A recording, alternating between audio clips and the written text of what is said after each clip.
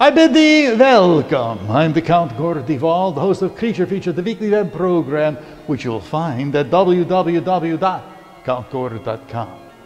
And this week I bring you a short film from Aaron B. Koontz.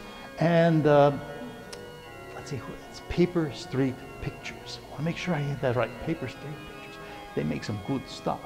And this is one of their good shorts. It's entitled Malevolence. It's scary, it's bloody, it's gory, and it's good. And you'll find it along with some of the interesting backstories of the making of the film in my New Blood showcase. Your last chance to win. Well, at least my current contest.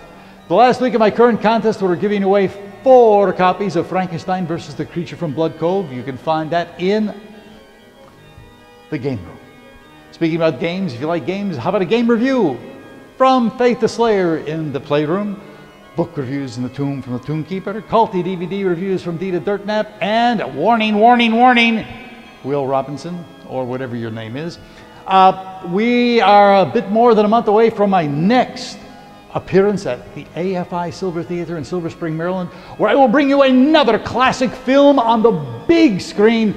This time, we take the, the vision and the talent of Ray Harryhausen and we project it on the screen as he destroys Washington, D.C. in Earth versus the Flying Saucers. It'll be July 18th in the 7 o'clock hour. Don't miss it. Get a group together. Come on out. Probably at the big theater. Have lots of seats. Be a great time. And you'll find out that and more at www.countgore.com.